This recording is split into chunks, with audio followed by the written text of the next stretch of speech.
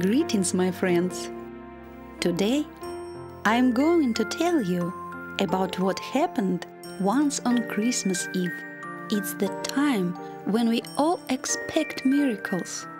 And this story tells us about those miracles we can do by ourselves.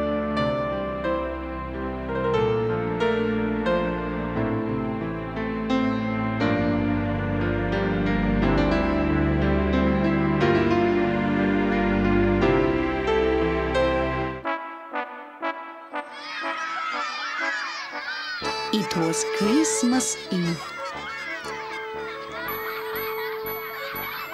In a small Russian village, excited children were playing in the streets.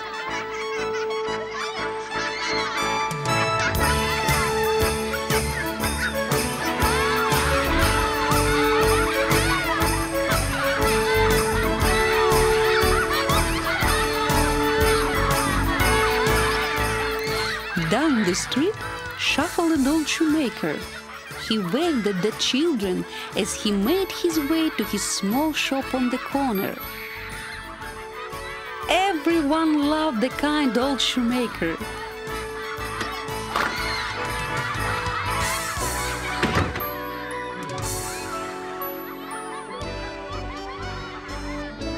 He went inside and set to work making and fixing the shoes.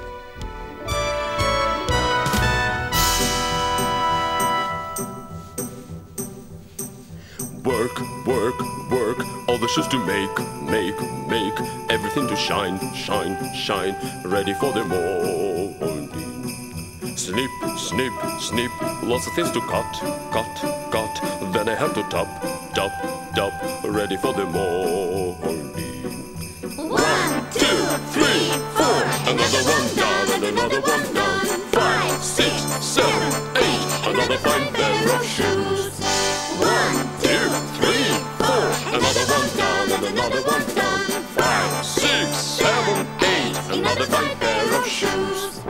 Feet, feet, feet. All I ever meet, meet, meet. Never smelling sweet, sweet, sweet. Even in the morning. Stitch, stitch, stitch, never getting rich, rich, rich. Still I always smile, smile, smile, ready in the morning. one, two, three, four. Another one gone, and another one gone. Five, six, seven, eight. Another fine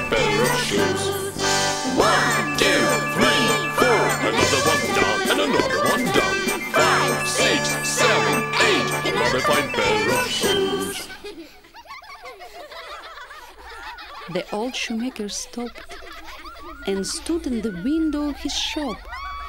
He listened to the squeals and laughter as the children played, but his thoughts were far away. He did not have a family, and on Christmas Day he would be all alone. He sighed, picked a big leather bound book from a shelf, and rested in his big old chair.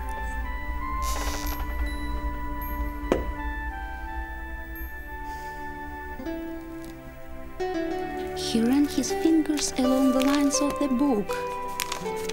It was the story of Christmas. He read how the wise men had brought gifts for Jesus, the best gifts they could offer. He scratched his head, looked around his little room, and thought, If Jesus visited me, what would be I able to give him? Then he settled back in his chair, pulled up his blanket, and the warmth made him drowsy.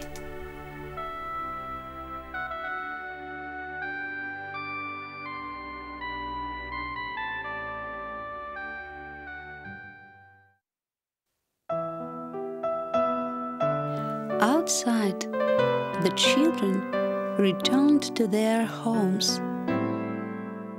A small group of children huddled together. They didn't have a warm home to go to. They did not have parents to care for them. They were orphans.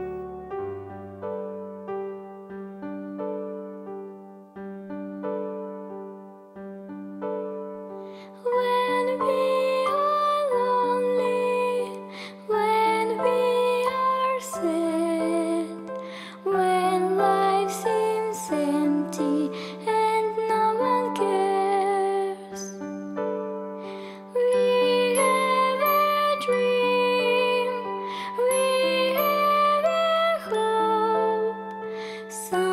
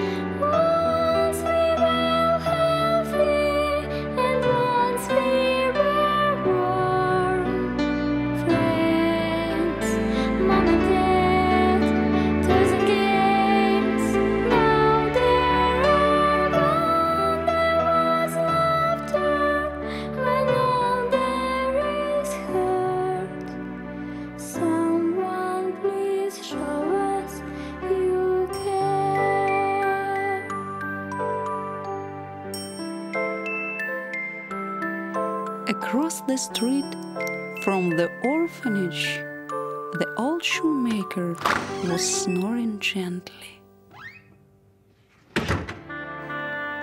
Suddenly, he heard a voice in the room. Dear old shoemaker, you were wondering what you could give me. Tonight I am going to visit your village. Look out for me.